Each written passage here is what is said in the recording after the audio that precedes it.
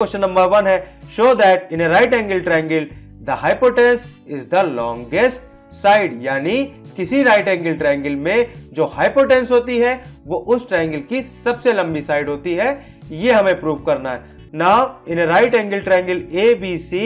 where angle B is 90 degree ये एक right angle triangle है ट्रायंगल ए बी सी जिसमें एंगल बी जो है, वो 90 डिग्री है। और हमको ये प्रूव करना है कि ए सी जो है इसकी हाइपोटेंस सी ये बी सी से बड़ी है, साथ ही साथ ये ए बी से बड़ी है। तो सॉल्व कर लेते हैं। Now in right angle triangle C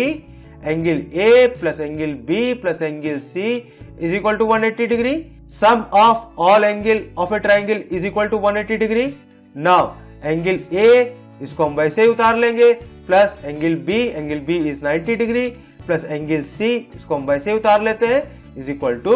180 degree तो फर्दर सॉल्व करेंगे तो आएगा angle A plus angle C is equal to 90 degree that means both angle A is less than 90 degree and angle C is also less than 90 degree ये दोनों angles जो हैं, ये 90 degree से कम होंगे।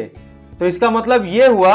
कि angle B angle B is 90 degree and both angle A and angle C are less than 90 degree hence angle B is greater than angle A because angle A is less than 90 degree and angle B is 90 degree. Now if angle B is greater than angle A that means side opposite to angle B that is AC is greater than side opposite to angle A that is BC. Hence AC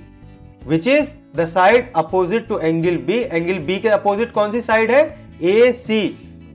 is greater than B C B C which is opposite to angle A A C is greater than B C because sides opposite to the greater angle is longer उसी तरीके से angle B is greater than angle C hence A C is greater than A B because sides opposite to the greater angle is